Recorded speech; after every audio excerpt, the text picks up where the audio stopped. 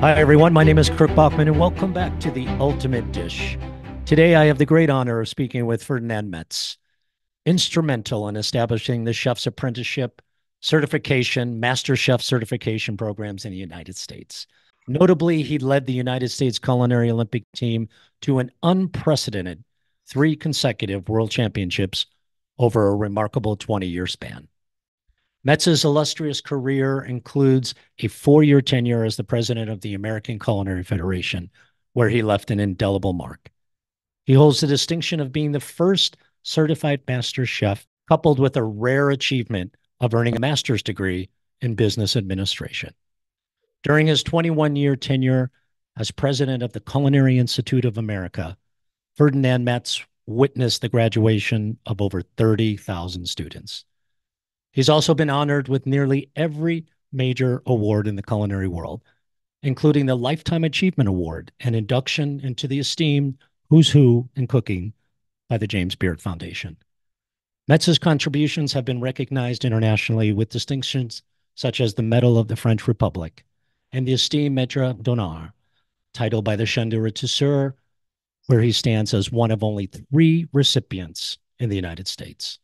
So join us today as we chat about the evolution of culinary apprenticeship, special skills chefs need to stand out today, and so much more. And there he is. Good morning. Good morning. hey, good morning, uh, Kirk. How are you? I'm so good. So good. And so just to set the stage for everybody, we, we haven't seen each other in a while, so it's really, really lovely to see you. And and you're you're on the West Coast and I assume, I hope that the weather is treating you well. It's good, good out here. Unfortunately, we had a lot of rain, which we, of course, need and love, and so things look, look good for the uh, for the uh, coming year. Very nice. And and and tell us a little bit about what you see when you look out the window. There are there are there some olive trees, some avocado trees? Yeah, about uh, 220 olive trees, uh, avocados, uh, peaches, uh, uh, dates, figs, uh, you name it. It's it's all here. Herbs, of course, lots of herbs, and so I, t- I tell you honestly, for the first time, really in in my career, I'm cooking with a lot of things that are grown right outside. Oh, isn't that something? That's that's uh, wonderful. Uh, wonderful indeed. It's uh, a totally uh, uh, new experience, and I think it uh, speaks to the heart of what cooking is all about. Oh, yeah, well said. well said. You know, it, it, it reminds me. You know, we we chatted briefly yesterday, and I went to my library. It was one of the last times we saw each other when I was still living in Chicago. Um, you came to the house for dinner, and it it was so sweet. I don't know if you remember this, but you brought this you brought this uh, this uh, book for my children, and we still right. have it. And uh, good. And we we made rouladen that day. We made rouladen with spätzle and uh, braised right. cabbage and. And, you left uh, the string on, Is and that... I left I left the twine on the rouladen. I'll never live it down. I I was telling my father about that. It's like, what are you thinking? What are you thinking? So Oh gosh, there's so much to talk about, but I, I really, you know, first and foremost, congratulations. Um, I think this is your fourth book, but this this book, I'm not all the way through it yet. You can see that I've marked several pages. Um, it's heavy. It's 400. Um, from from many, we are one. Uh, I, I, mean, just a beautiful, appropriate title. Um, I I uh, I I I wanted to read one little um, quick piece here, which was just so um, so reminiscent of of what I went through uh, mm-hmm. in in my life as well. Mm-hmm. Small hotel, bakery, you know, this expectation from from from father, right? Mm-hmm. Um, but I love you said this is page 77. You said the idea of family and the manner with which we all work together took much of the guesswork out of the many undefined issues mm-hmm. the most important to me who takes over the family business. So yeah. can can we just jump on there right just quickly? Sure. We're going to talk a lot more about the accolades and such, but tell me about growing up in a family business with a brother who is also a, a, a master chef, you know, right. in Germany. Yeah. I think it was very challenging, uh, but on the other hand, it uh, was supported by tradition. So when you have tradition, you don't question a lot of things because uh, a lot of things are already set in place. You just understand this is tradition and that's the way it is. Uh, having said that, uh, my brother being two years older and sort of two years ahead of me in both the apprenticeships and all these kind of things, uh, he did very well. He um, uh, and uh, this, of course, follows uh, our father's. Um, I, I, think we call it suggested mandate to take an apprenticeship, and we understood what that meant. Suggestive mandate, believe me. Um, so we both started an apprenticeship in um, uh, a cafe, the best cafe in Munich where you learned, uh, uh, you know, all to make the cakes and uh, and uh, the tarts and the chocolates and the whole thing. So that was a three-year experience, and then we went on to uh, uh, do a second apprenticeship in cooking at okay. at a newly opened hotel, which also is a big challenge to open a hotel up. And um, so we became kind of rounded, and quite frankly at the time, I didn't think it was a good idea to take yet another apprenticeship. But um, uh, when um, I joined the uh, Culinary Institute, um, I could go into a bake shop or a kitchen and uh, feel very comfortable uh, talking about the curriculum, talking about uh, how we're doing things, what we're doing things, and uh, I think that that was very, very important. Um, now, the only problem with my brother was that uh, he was very good in what he was doing, and he finished uh, as the best apprentice in the state of Bavaria. Wow. Uh, yeah. And so the expectations for me were to do the same, which uh, fortunately I did, but I always was under a little bit more pressure to to follow him and uh, uh, he also did his master chef in Germany, and that kind of gave me the impetus to to look at that program here in America. Uh, so, uh, but uh, there's one important thing about um, the apprenticeship, which took place in Munich, about uh, a good hour train ride away from where my parents had their hotel, butcher shop, and uh, restaurant. So every weekend we would come home and um, you know there you sit everybody's busy around you and you know pretty soon you get involved right so every weekend every weekend which was to the detriment of our social life for sure i was just gonna say we uh we made pastries and cakes and and here's the big thing we were allowed to make mistakes yeah. which is huge huge sure. So when we uh, we didn't get punished for it, as opposed to the place in, in Munich, the apprenticeship, you know, uh, there was uh, there was a little punishment involved if you made a, a, mistake, and that gave us so much confidence and so much. We were so much ready uh, than some of our colleagues in the apprenticeship, um, and um, it, it just brought it all together. And uh, so again, uh, I kind of try to follow that mantra into the uh, the curriculum of the CIA, hoping and allowing people to make mistakes because that's where you learn the most. It makes sense. So, so you mentioned that there was um, some encouragement, let's say, from your from your father, but um, so when you and Reinhold started yeah. the apprenticeship in Munich, Mm-hmm. what with a specific goal in mind? I'm going to be pastry chef. I'm going to be cuisine chef. Or what did your father encourage you to learn everything about the business? It's everything because they also have a butcher shop. So we grew up uh, actually going with our grandfather out to the farmers to pick the calves and the pigs take them take them to the slaughterhouse and uh, start uh, processing uh, uh those animals uh, make sausages and all kinds of specialties. And along the way you kind of begin to understand you there's no attachment to the animal. It can't be. Uh, it's always always done on the with the recognition you are providing food for people. And sure so we learned we learned uh, butchery just uh, by the mere fact that we were uh, in there in the butcher shop all the time. And was there a point, um, just specifically for you?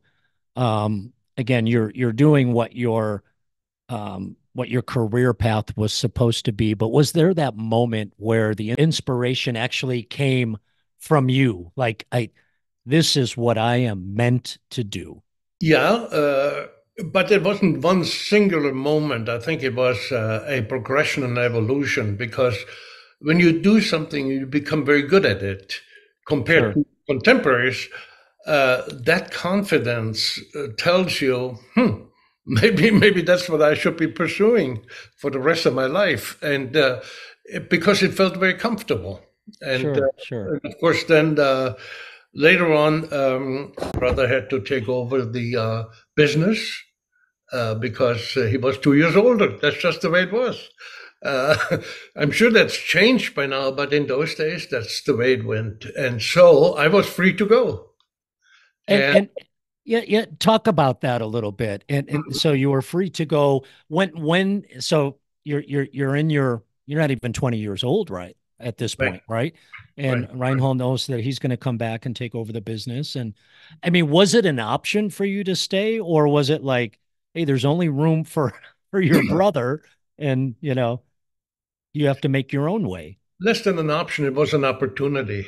Oh, better, better word. Yeah, yeah, the opportunity to see other cuisines, uh, visit other countries, and uh, in those days, I got my, I actually got a phone call. Uh, from a person I, I didn't know.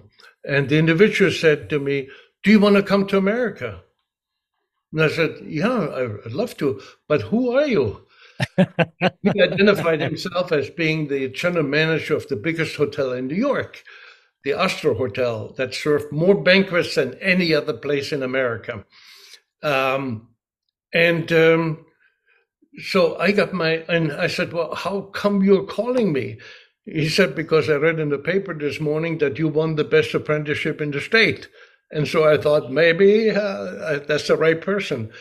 Uh, and um, in those days, within three weeks, I had my visa and uh, flew over uh, to what it was what was called Idlewild Airport, now Kennedy, mm-hmm. and they picked me up, and I started in the country club.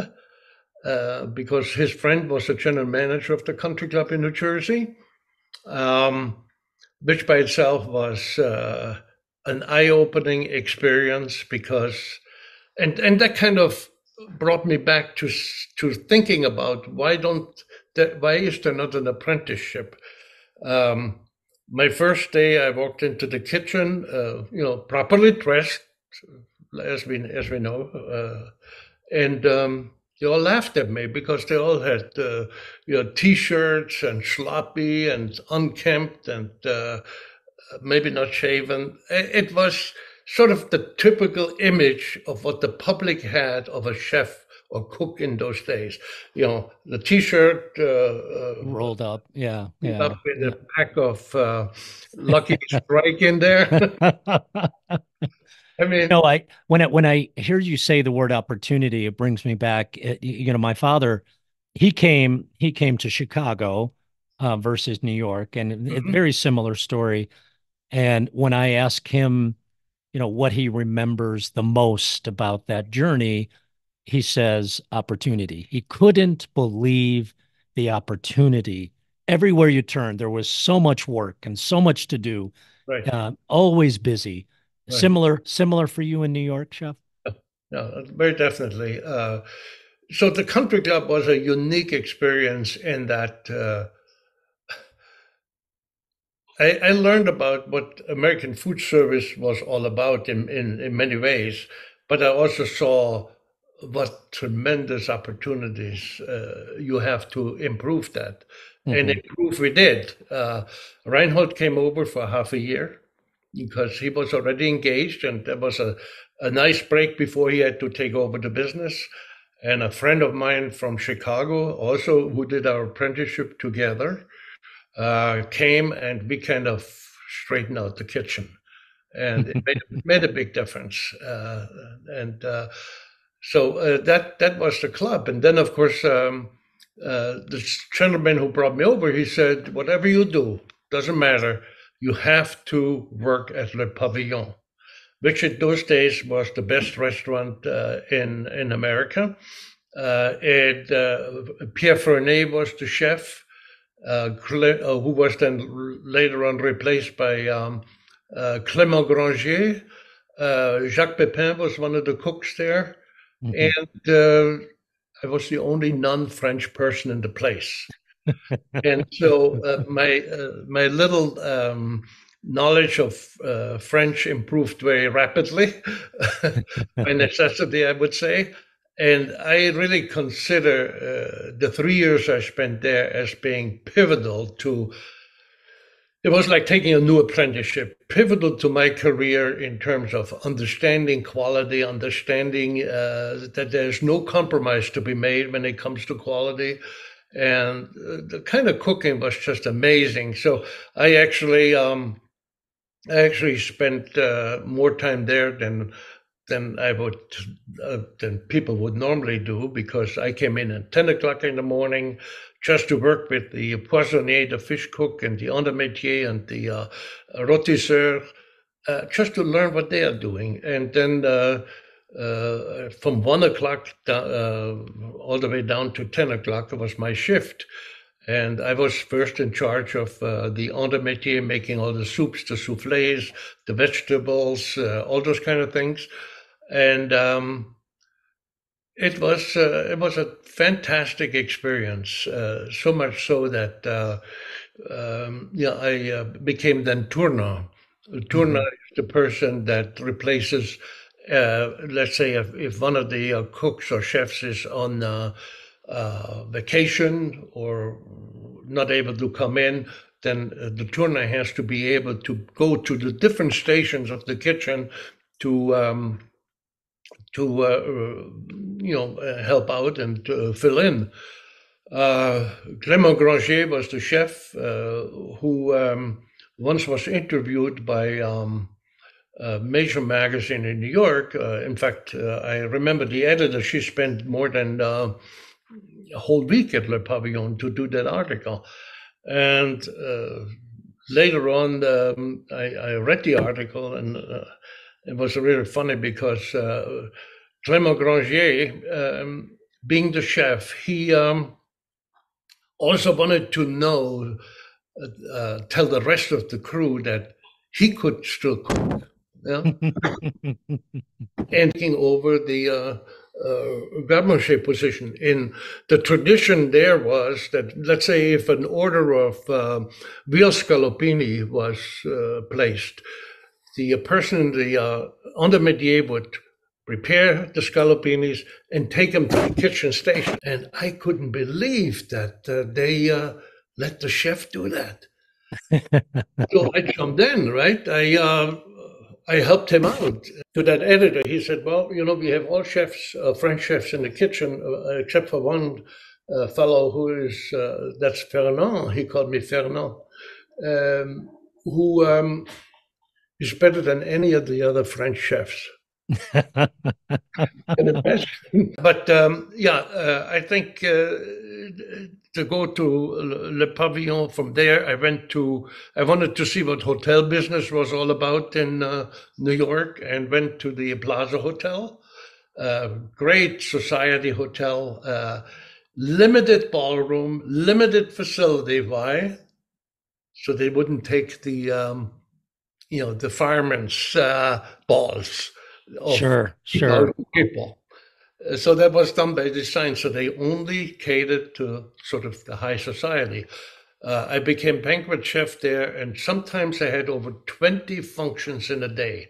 You know, 500 people there, 200 there, 50 here, 25 there. And it was a tremendous experience uh, to, to work uh, in that kind of setting. I, I was going to ask about the plaza. I, I, I was there uh, in January with the family, you know, to do the tea. Oh yeah. Um, and and I and it and it felt very. The pageantry is still there. Mm-hmm. Most of the people that I spoke with, um, had been there for 25, 30 years, right? And that's that's really important to keep that sort of standard at a, at a certain level. Okay. Um, and, and and I don't know when the last time you were there, but do you believe, Chef, that that is is that limited to places just like the Plaza, or are there still some beautiful venues in the United States that still respect yeah. what it was like 50 years ago? Well, almost in any city, you'll find an iconic hotel that dates back to sure, yeah, period. Uh, and um, you know, the Palmer House uh, uh, comes to mind, uh, and um, uh, some of the other places uh, because they have they have lived on that tradition and, and perpetuated that tradition. Um, I remember at the um, as banquet chef, I only had one other assistant and do all these things. So what you you were forced to be on good terms with the big crew in the kitchen. Sure. Yeah. I need this for the party. I need that, and so uh, a couple of uh, bottles of beer went a long way to get things done. of course, of course. yeah. And then, uh, then of course, I made a really big jump to go to the H.J. Heinz Company in Pittsburgh as experimental chef. I had no clue what that meant, but I wanted to under, I wanted to experience corporate America, and corporate America it was. I mean, in many ways, totally different. But uh, I understood that um, in food research and development, and, and later on, I managed the uh, department as a cook now, which is an interesting thing. I had PhDs working for me, scientists. Why? Because uh, Heinz believed that at the very end it's about flavor, not necessarily about chemistry, although they were both there. So I actually uh, started out as a um, chemistry major in my undergraduate, and then finally realized uh, uh then I become an expert in two things, namely uh, cooking and chemistry. And I said, that's that's not a good idea. And I switched to uh, business and finally got my uh, also my MBA at the university up in, in Pittsburgh. So uh, that was a very interesting and huge change for me uh, to go from Le Pavillon to Plaza to go to a food manufacturer. But um, I under, I learned a lot how you go about uh, developing uh, recipes, but also how you go about cooking in quantities, which is totally different than what uh, what we are usually. Uh, you know, if you have to make a cream sauce for, uh, let's say, seven hundred gallons, huge. There's a different way of doing it, and the flavor and the flavor has to be there. You know, right. I, I, w- I was just going to insert one comment about Pittsburgh in mm. my experience there. Um, the the the cooks and the chefs of that city have such an profound respect for the craft of cooking. When it comes to the ACF, more chefs than not were members, active members in the ACF. I remember Heinz Heinz Lauer and I did a demo for right. you uh-huh. at a ACF conference there. I think we did Sauerbraten or or, right. or something. It was a German dish, but right. you could always count on Pittsburgh to pack the house and highest level of certifications. Um, yeah. What what what do you think? Um, was it like that when you started in Pittsburgh as well? Well, I think what uh, what coalesced the uh, organization was uh, when we started to think about certification mm-hmm. in apprenticeship because you know like any organization you need a purpose you need a goal you need something to to keep the membership excited and involved. And there was nothing better than than that. Apprenticeship we became sort of we decided to do a hybrid model. A hybrid in the sense that uh, understanding that in america you should have a degree of some sort great practical experience. And that's what we did. We, we partnered with the local community college, had some great uh, cooperations there. And uh, what we did first, we developed the program, implemented it locally in Pittsburgh and surrounding areas, and only after a few years did we take it publicly on Okay. ACF wide.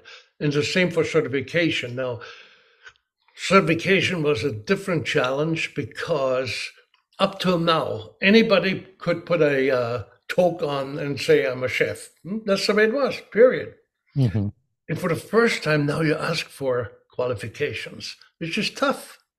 Sure. And there are chefs in the Duquesne Club who, which one of the outstanding private clubs in America. Um, and there are many clubs in Pittsburgh because at one time it was the it, it was the home of more corporate headquarters than any other city in America. Alcoa, Westinghouse, U.S. Steel, you know, all those kind of uh, places. So there were a lot of clubs and great great clubs that people could um, you know uh, be really challenged in their cooking. Uh, so in in certification, having to now for the first time ever demand some qualification was a tough road. And uh, we bridged that by uh, uh, the leadership of, of the Pittsburgh Chef would take the certification themselves. And those two programs coalesced the organization to a degree where they really felt proud of, where they felt involved, and where they also were the beneficiary because of the sudden, you know, if you could say, I, I'm a certified executive chef or whatever, it was you became uh, more noticed, you became more acclaimed, and oftentimes your salary was commensurate to to that status. Sure. Yeah. Yeah.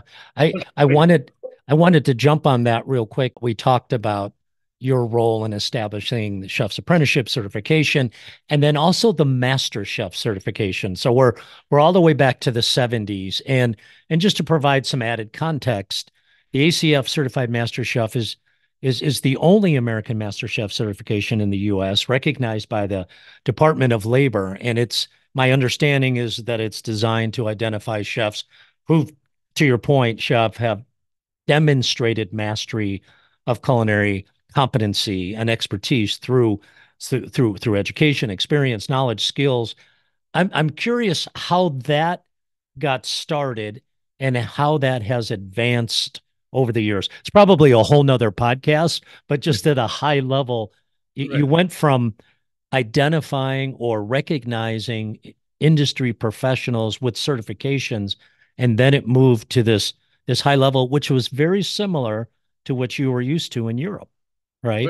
It's basically again a hybrid model, combining uh, uh, American ideas and uh, criteria and uh, European uh, uh, uh, methods. And uh, yeah, uh, I was sort of um, when I started the program. Um, because my brother had a uh, had a master chef uh, degree from Germany, and uh, I was thinking maybe I need to go over there and take that examination, uh, which unfortunately uh, would take six weeks to be away from your job. Uh, in America, that wouldn't fly. Period. Mhm. Sure. Yeah. Yeah. Um, what we did was uh, we developed the program uh, based on the, uh, the European model, and was fortunate because my father and uh, brother both master chefs. Uh, I could uh, understand how they are doing it, what the methods and the procedures were, and so we we prepared we uh, created that hybrid model, and with the idea that it really when you when you graduate from that, you're really a complete professional, and um, I think the the result of which was uh, uh, also commensurate with with that goal, and uh, as a result, the program uh, has grown, but not to the degree that we had hoped. Okay. it uh, it was a at one time it was a ten year a ten day program hmm every day you come in in the morning like seven o'clock till 10 o'clock there was a theoretical subject uh, whether it be purchasing or uh, food to sanitation or whatever and then from about uh, 11 till 7 in the evening were, you have you were assigned a cooking task and it could have been anything. You, you, you drew a, a, number out of a hat, and it told you what the assignment was. Um, and that requires really uh, individuals to think very fast. Um, you couldn't, you didn't even have time to consult a recipe book or a cookbook or whatever. You don't have time. So the moment you get that assignment, you have to jump on it because of the timing, etc. And uh, that really also that kind of additional pressure is what we what chefs experience uh, all the time. And so uh, I think uh, it became uh, uh, cha- the program changed. I think now it's five days, allowing or six days, allowing people to brush up on especially the theory subjects, the theoretical ones, uh, and complete them. Uh, so by the time they go into the practical, they already they only have to focus on that. there are debates whether that's good or bad, but it is what it is. So. Yeah, the program has not, and and through AMCO, we are trying to uh, to uh, make them more accessible, without, which is really a key, without compromising the standards. Mm-hmm. I, w- I was told once that when you arrive for the 10 days, the original 10 days of the certified master chef exam, you're not there to learn. You're there to demonstrate your cooking ability and your knowledge and um, how how important is this? Is kind of a you know just a general question, very theoretical. How important is it in your mind, chef, for chefs um, who respect the craft to put themselves?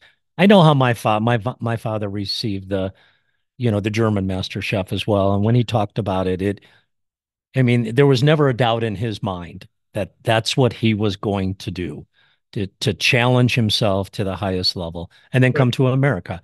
Yeah. Is, is is that missing today with chefs? Well, it's different now. Uh, chefs understand that uh, that title would uh, allow them to to not only prove to themselves but to their crew and to their uh, uh, management staff that uh, they have, uh, you know, put themselves in a position where they really can uh, understand uh, and be a complete cook in many ways.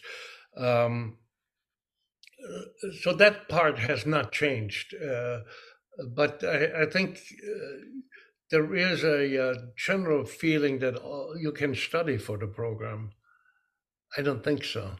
Yeah, yeah, that goes back to my original exactly. understanding, right? It's it's once you're there, you uh, you have to put in place what you know, and it's all about your passion of cooking, your understanding that less is more. And by the way, that phrase "less is more" re- is repeated in my book about fifty times. but I, I, thoroughly believe in it. I, I I think it's just such an important thing to understand when not to interfere with nature. Take a take a wonderful uh, New Jersey uh, beefsteak tomato, right, at its best, ripest, bursting with flavor. As a cook, you shouldn't do anything to it. Maybe yeah. sprinkle a little olive oil and salt, and that's it. Leave it alone. Yeah, yeah. because you can't improve it. But this requires an understanding and confidence on behalf of the cook to do that. Because many cooks say, oh, then I cannot show my expertise. I cannot show, okay, so you show your creativity, you show your expertise, and you screw it all up. You change what nature has provided. And I think it takes a seasoned and experienced and confident cook to get to that point. No, very, very, very well said. Perfect segue into talking a little bit about culinary competitions. You you've been involved with competition for a very, very, very long time, namely the U.S. Olympic team. Could, Could you talk a little bit about your experience, particularly a lot of people that hear about the Culinary Olympics don't even realize that there is a Culinary Olympics every four yeah. years. But yeah. I'd, I'd love for you to speak a little bit about what it's like and what it takes to compete on a global stage. And, and even competing before the Culinary Olympics, there's competitions across the country all the time, right? How important is that for us? I think it's as long as you think it's a learning experience, it's very important. If you think about medals, forget it. Mm-hmm. Then you become mm-hmm. what I call a competition cook.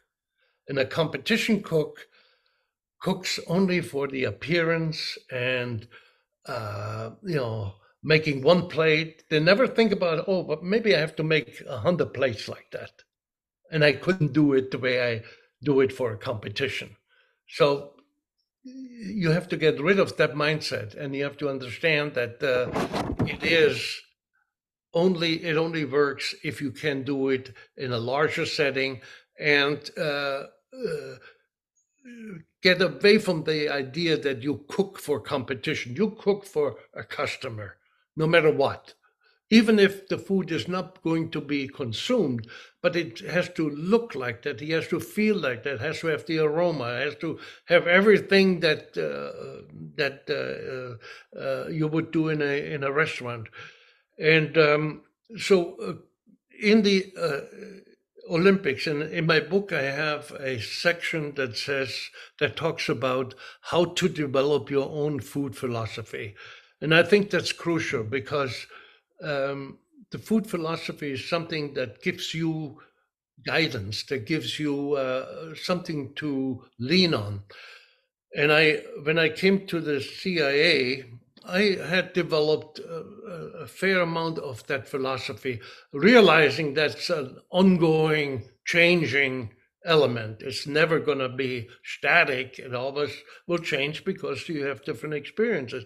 But the challenge there was how do I intertwine my personal food philosophy with that, it, the existing one at the CIA? Mm-hmm. That's the challenge. And the only way we could overcome that is uh, to uh, to basically listen to a lot of people and understanding, and out of that formed an institutional philosophy on cooking. Uh, give you an example just to talk about bechamel in our um, you know uh, books that we wrote, we spent a whole day arguing, debating, discussing how to make bechamel sauce because we had instructions from 20 different countries around the world, different ideas, different method, different this, and but out of that came a fundamental recognition that 80% of what we do needs to be consistent for a student so they're not confused. 20% can be the individual input of the instructor, of their experience in the past, and uh, whatever they felt was uh, going to enhance that process. And so, uh, again, uh, that same philosophy carried on with the uh, with the teams that I was, I was involved with over 20 years with uh, culinary teams. And, uh, you know, in 1976, which was such an incredible year for American food and wine, at the uh, 76 uh, tasting in Paris, wines uh, from Chateau Montelena, the Chardonnay, and uh, and the uh, Cabernet Sauvignon, uh, yeah, the Cabernet Sauvignon won over the French best uh, Grand Cru uh, varietals. Unheard of. Yeah, yeah. And, yeah. French um, writer Odette Kahn from um, who was in, the head of the French wine board she demanded to have her score sheet back because uh, she could believe, you know, what, what the scores were. In 76, the same time we entered the Culinary Olympics, we were basically a nobody. I was on the team in 68, we did okay. Uh, and then in 68, we started to understand what it is that we needed to do. Mm-hmm. And um, so uh, here we were. We um, also as part of that experience, we were invited by the State Department to cook a luncheon for the Queen of England in Boston during the bicentennial. And um, that was by itself a unique experience because uh, we were told that uh, after uh, the luncheon, uh, the, team should line up, and if the Queen wants to say hello, she will she will do such that. And uh, so here they were, they came out of the uh, um, of the dining room, and the uh, Queen made a beeline towards us, and the mayor of Boston, uh, Kevin White, at the time, put his hand on her shoulder, which you don't do. You're just on good The CIA and the British Secret Service were all over the place. On top, yeah. Oh my gosh. She shunned them away. She took charge, and she gave him an ice cold look that could have killed, I think. and in spite that went straight to us. She wanted to talk to you. Yeah. Right. Yeah. Shook everybody's hand. And uh, so that was a unique experience. But going back to the Olympics in 76, we had a team philosophy.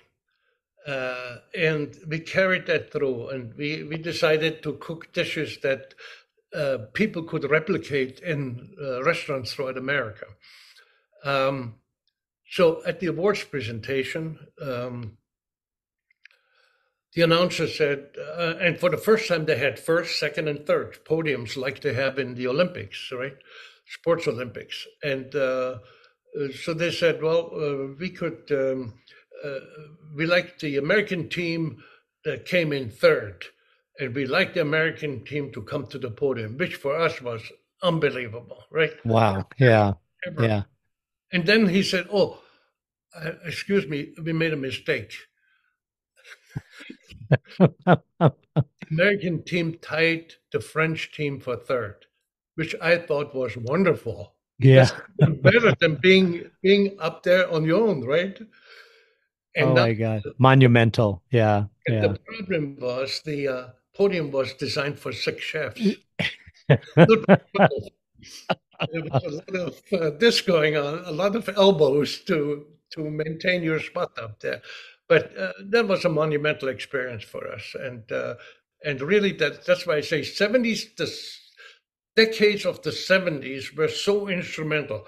Apprenticeship came about, certification came about, MasterChef was started, the Olympics, the uh, Paris tasting all these things brought a tremendous amount of excitement and confidence, saying that America can compete and can be uh, right up there with anybody else.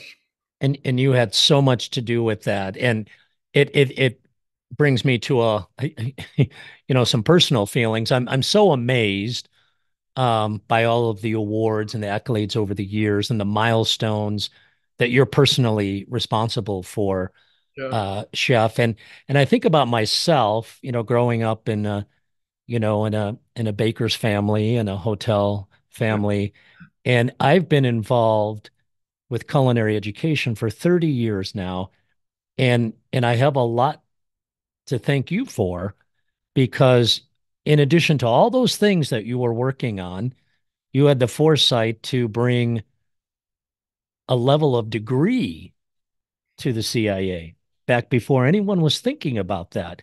You know, you go to culinary school and actually earn an associate's degree with transferable credit by a, a regional accreditor and then a bachelor's degree and so on and so forth. So, so first and foremost, um, I, I, I wanted to thank you for that. You, you know, take take advantage of this time together and have you kind of talk about what what what was going on in your mind that you were thinking we need to elevate the educational levels of those who are studying our craft? It, I mean, brilliant, really. Yeah. Uh, again, it, it was viewed as an opportunity to do that. And when you're the head of an organization, you have a lot of influence. How this, yes, you do. Yes, move, you do. Right? and uh, you know, uh, so as a result, we we focused a lot on uh, the culinary aspects. Uh, not to neglect the others, but uh, the culinary is what we were, what we were all about. And so, uh, you know, we we put when we hired an instructor. Before that person was hired, they had to cook a three-course meal for the other department heads, and um, within a time frame uh, from a mystery basket. Uh, because that tells you more than any resume or anything else that you need to know. And the real uh, question that always arose, and I uh, uh staunchly defended that uh, when people said, well, you cannot make a um, good chef into an instructor. is, and I said, wait a minute, what do you rather do? Take a mediocre chef and uh, or make, take a mediocre chef and make a good chef of, of that person, or take a uh, a uh, experienced chef and make a um, uh, instructor. And I said, I do. I I always follow the latter, and uh, as a result, I hired my former boss at the Plaza, uh, Chef Andre Rene, as an instructor. I hired was happy to hire chefs in their 50s and 60s, kind of a little bit burned out by the demands of the industry, mm-hmm. would give me another 10 years of incredible experience, uh, something which you just cannot pay for. And uh, stories, stories that, that you cannot. Yeah. So, uh, uh that became, uh, you know, a, a really uh, standout point because, uh, you know, not only were they very seasoned, but they also, for the first time in their lives, had a life. yeah, yeah, yeah. they were home at night. Yeah, yeah, yeah. Weekends and holidays and what have you, but they also began to realize they can form their own legacy. Mm-hmm. By which you know uh, as much as anybody, uh, when you are in teaching, it's uh, it's not your salary it's not your reputation it's your legacy of having had an impact on so many lives of different students which you just cannot uh, replicate anywhere else. So so well said. And to that point i i wanted to read a quote. This is from stephen michaelides former editor-in-chief associate publisher at at right. restaurant hospitality magazine he says and i quote aside from Ferdinand Metz, there is no other person in America who has witnessed, supported, and actively influenced the evolution of American cuisine while stewarding for 21 years the fortunes of the Culinary Institute of America, the country's most influential culinary college. I I, I wanted to ask, you know, what a wonderful time, and you know, 30,000 plus students that that came across that podium yeah. How how I know how it makes me feel. I yeah. I'd love to hear how that makes you feel. You know, in 21 years, there was not one time when I walked into the, and I usually must have fairly fairly early, seven o'clock. I walked in. The classes already were in session, the morning classes. I always, always felt a sense of excitement, a sense of presence, a sense of uh, um, uh, passion for for the school when I walked in, and uh, uh I think the same uh, carried forward um, when uh, you start to think about your the curriculum that you want to institute and the standards that you're you're trying to set. Uh, but it always felt like a very special place. And it goes right back to this uh, comment of yours about the legacy of uh, seeing that many students uh, uh, come across the stage to successfully accept their diploma and go on to the world. And quite frankly, they made a huge difference uh, culinary schools really as a uh, as a whole contributed so much to the uh, quality of food in America today uh, which you only understand if you understand what happened in the past which was sure. not always uh, the very best but um, you know that part uh, really graduations, although I attended over 250 graduations. it never became, oh my God, another one. Oh, it always was felt special. Yeah. Always yeah. special because you look in those the eyes of those people that graduate, hopeful, excited, passionate.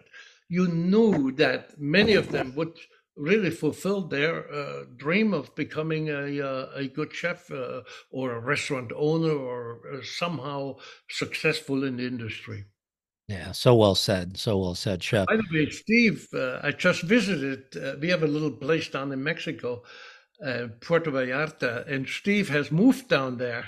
Oh, really? I, I visited him. I gave him a copy of the book, and yeah. Oh, beautiful, beautiful.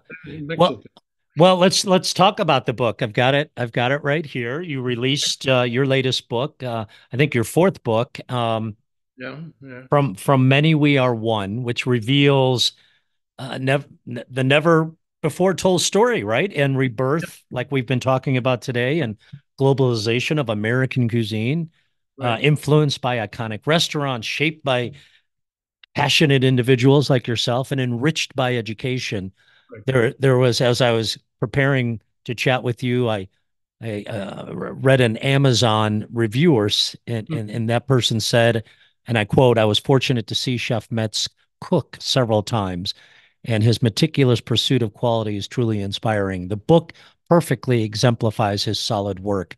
In my interactions with him, he always was a wonderful mentor, inspiring us, and his actions and his and, and his advice."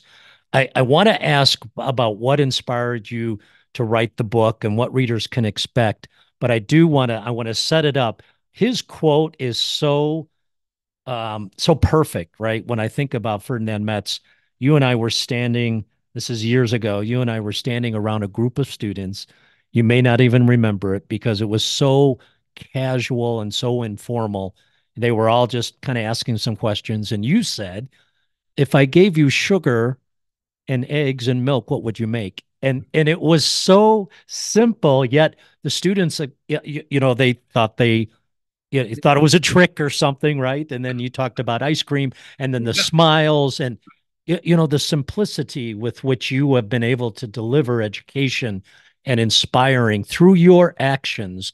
I'd I'd love for you to um, talk talk about what inspired these 400 pages and and and i've got notes all over the place i'm not through it yet but right. you know congratulations first of all just just Thank wonderful you. yeah first of all the title really uh, explains that american cooking wasn't born in the absence of any other influence i mean it's the influence of every ethnic group that ever came to our shores and uh, and started to cook their home uh, homegrown meals and uh, share them with Americans, and uh, uh, that's that's really the title. Now, the book kind of evolved; it became bigger by the minute, so to speak, because you know excited about doing something. You say, "Well, I want to write about this. I want to write about that," and um, quite frankly, uh, I had to admit to myself that the book is basically a broad overview. Let's say if a, a student needs to know what the history of American cooking is all about, but not having to read 10 books to do that, this will do it because it kind of capsulates important events, important stages on the uh, during the evolution, uh, uh, and to show how all that happened and what it means for us today. So every almost every chapter in this book could have its own book written. Sure, sure. But again, I wanted to cover a whole base of uh, of different things, and uh, uh, so the book became bigger by the minute, more or less. Um, you know, I wanted to add a debate about new techniques. You know, what what does molecular cooking mean to us? Uh, uh, nouvelle cuisine, fusion cuisine, and I blended that with some of the historical elements of that cuisine and today's application. Um, I also wanted to raise some social concerns, you know, like uh, what happened to the women in our industry? Why was the media so inconspicuously absent in recognizing the uh, value of women chefs in America? I mean, it's amazing. Usually, the the media they want to jump on every new uh, story they can. They didn't do that. Why? And I talked to a lot of women chefs and a lot of our women chef graduates from the school, and uh, uh, you know that came to the foreground. So I wanted to cover that, and I wanted to, uh, and I essentially finished up by saying, you know what happened to the American soccer, women's soccer and hockey teams? They rose from obscurity to world powers. Now, why? Because Title IX Title IX demanded that every college would provide equal number of spaces for female athletes as for male male athletes, scholarships, opportunities. And that's and then I said, maybe it's time food service industry invokes our own Title IX uh, in order to highlight uh, uh, the contribution of women. And the same social concern uh, was covered by talking about African American chefs. You know, their contributions to cuisine uh, and um, their legacy. And uh, I think it was just an important thing to highlight, not to glance over, but to really devote some, you know, several pages to to those issues and uh, let people know that uh, these are issues that we are concerned with, and we should really understand them. And uh, but there is some good news because, as you know, at culinary schools, a major proportion is now female chefs, female students. Sure. And they have learned, and the male students have learned to work together with them. So I am very hopeful that in the future, uh, this whole issue of male female and male dominance and all this kind of stuff will disappear because uh, they have already uh, worked uh, alongside each other. Uh, the same thing uh, I'm uh, hoping to see happen with African American chefs. Now, we have seen most recently a great influx of new uh, chef, uh, black chefs that have uh, made the headlines and have done some great things. And so it's important for our industry, just as simple as that, to recognize that and to f- promote that. Along those lines, chef, what what uh, what's next for cooking in America? What what what do the next 10, 20, 30, 40, 50 years look like in your mind? I think that uh, we have settled in uh, and understand that it's not just only about great cooking, as it was you know, uh, developed during the 70s, 80s, and 90s. But now it's to take that and to make a business of it, a good business, and to be customer focused. And for that reason, I devoted a whole section in the book on uh, hospitality and on um, uh, all kinds of uh, issues that today have an array uh, because people have not paid attention to those. Uh, I have a comical section in the book that talks about the experience of going to a restaurant today where um, where the two uh, people at the front desk talk about their weekend plans, and you just stand there and uh, hope to get a word in, you know, to get exactly. then you go to the, you get to the table, and somebody throws you the menu like a frisbee, and says, Joe will take care of you. Wow, no kidding, Joe will. Joe comes around and uh, you know does his thing and gives you the litany and uh, of the new dishes and the uh, and the origin where the chicken came from, which all is not important. and, uh, uh, so um, and then uh, Joe comes around and he has at a table for two, as an example, he has the dishes, right? And he comes and stops at your table and waits. And what he's waiting for is that you the customer cleared the paraphernalia from the table. So Make hey, room for the plate. Yeah, yeah, yeah. And oh then he gosh. asked a table for two. He asked, "Who gets the fish?" The table for two. So, so yeah, the book talks about uh, some of those issues too, because I think they are important, and I think this is part of what the settling in period is that we are have have uh, started now, and I think that will carry on to the future. Namely, to take all the good things that we learned and, and combine them with hospitality. And speaking of hospitality, the, there's another certification issue, which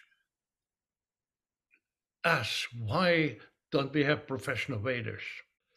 They have not no organization like ACF to lean on they have no educational opportunities, basically. Sure, in your school and ours, uh, they worked in the dining room and have more of an idea what to do than most other waiters.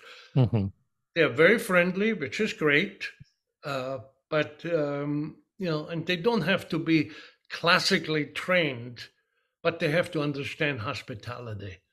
And the reason why they uh, have not progressed to a professional status is because there's no certification and no organization to back them up and to promote them and to advocate for for uh, their goals. And so uh, I, I, think in this settling in period, blending our skills with with a great sense of hospitality and business acumen is going to be the successful formula. Abs- absolutely great advice. I, w- I was going to ask, you know, what's next for culinarians today and front of the house, back of the house. Um, I can't believe that we've gotten to the end of our hour. I, I do have another question or two for you if you can stay with me. Sure. But before before I get to our last question, um, what's next for Ferdinand Metz? Is there a is there another book in the works? Is there? uh, I'm kind of thinking about uh, uh, doing another book of um, uh, vegan uh, dishes.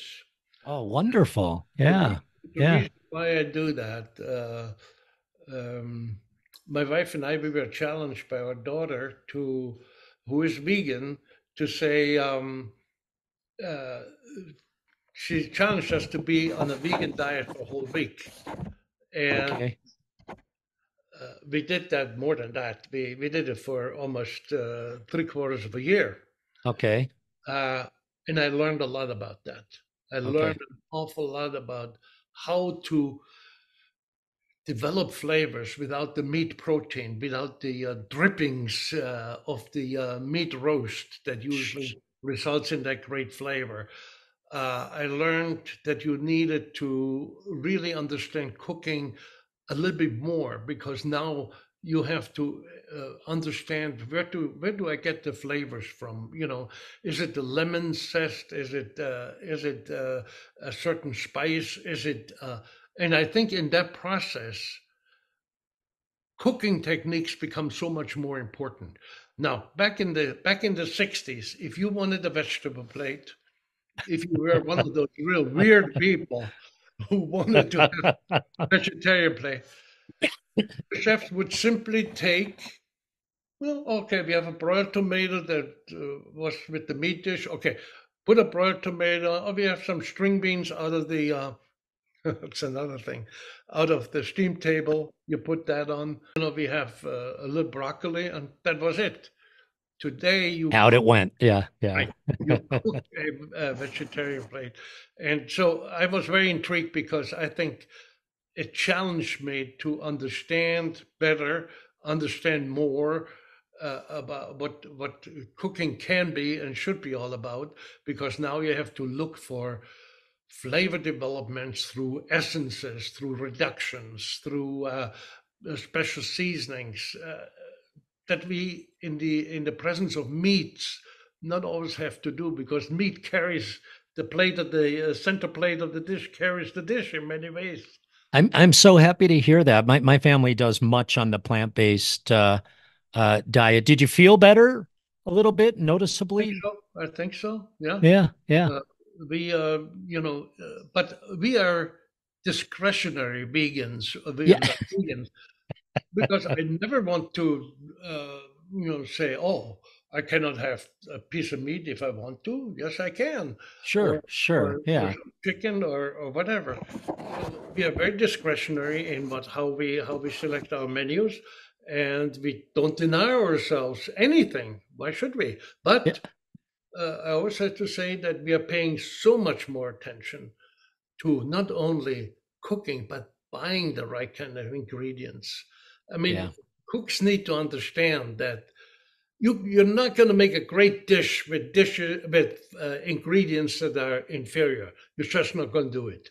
Yeah. So yeah, yeah. why don't you do yourself a favor and pay more attention to the purchasing, to buying the best quality? You know, when it comes to uh, delivery of ingredients, uh, as an example, the word will get around. Which chef really has somebody there to control, to reject certain uh, items because they were not up to standards. That goes around. And the chef who doesn't gets whatever's left. That goes around too.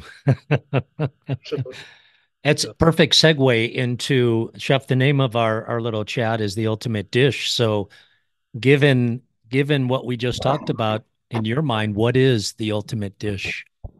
well, that's an easy question to answer because uh, we just did that the other day. We had we had some um, uh, friends over, uh, seven people or nine people, whatever, and I made the dish that I uh, like probably the most, and that's braised oxtails.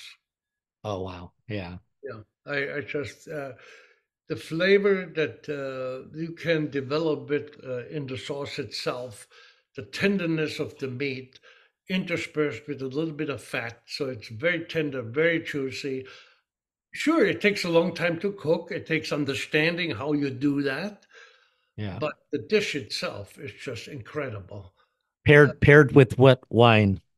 Uh, Spätzle, you know. And, uh, or or a com- in, in our case last time we, we had a combination of sweet and regular mashed potatoes uh, combined you know. Yeah yeah yeah. Uh, uh, yeah um, uh, uh, uh, brussels sprouts but not charred. Yeah yeah yeah yeah. these days.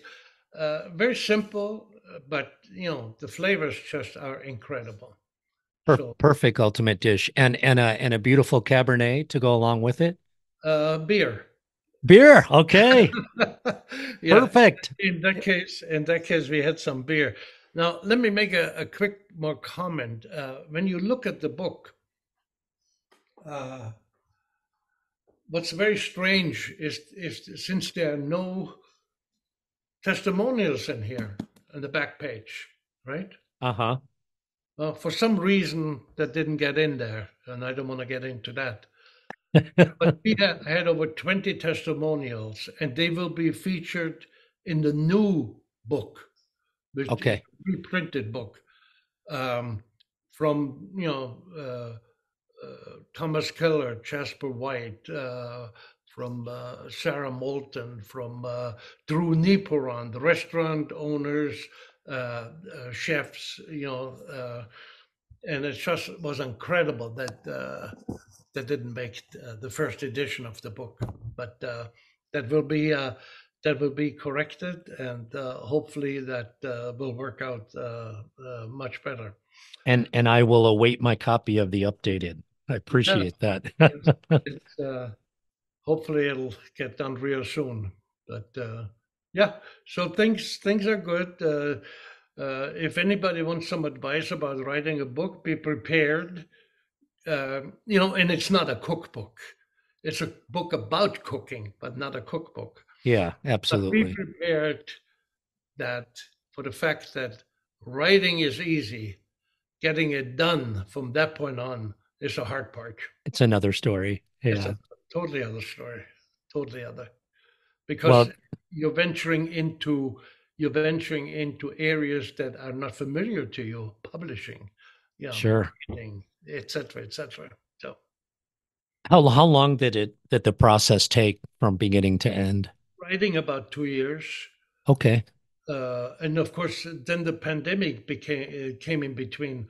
All the publishing houses in New York were shut down for the that time period, uh, which was not all the way all bad because, contrary to some advice I got, which says once you write it, don't go back to it. I didn't. I did go back to You went back, yeah, yeah. Back because you have another idea and you say, oh, I need to clarify this point, or I want to add another segment to it, uh, like that, um, uh, how to develop your own food philosophy and the hospitality aspect, uh, as well as some uh, interesting stories about uh, uh, chefs that that we interacted throughout our careers and so that you really, um, I think it made the book better, uh, but it took a longer time. Yeah. Well, it, this has been such a pleasure and an honor for me to to spend some time with you. Congratulations on all the success, Chef, and and and let's stay in touch. Let's stay in touch. Sounds good. Thank you for having me. And uh, uh, yeah, we like to. Are you going to be at the convention? Yeah, yeah, this year, and yeah. And yeah. um and that reminds me too when the when the when you press that first uh, harvest of olives, I, I want to know all about it. Yeah, yeah, we are uh, we are hopeful. We are hopeful. We have uh, some olives for oil and others for uh, you know be salted. Sure, sure, yeah. Sure. So it's it's good. We'll we'll we'll learn a lot. Like it, you know, learning is a process that uh, doesn't end, and I think uh, that holds true for any kind of certification, master chef. I always tell uh, people that's not the end, for God's sake. This is a beginning. Maybe we're just getting started. More of a, more of a tool to learn more. Thank you for listening to the Ultimate Dish podcast brought to you by Auguste Escoffier School of Culinary Arts. Visit escoffier.edu forward slash podcast, where you'll find any materials mentioned during the podcast, including notes, links, and other resources. You can also browse other episodes and subscribe.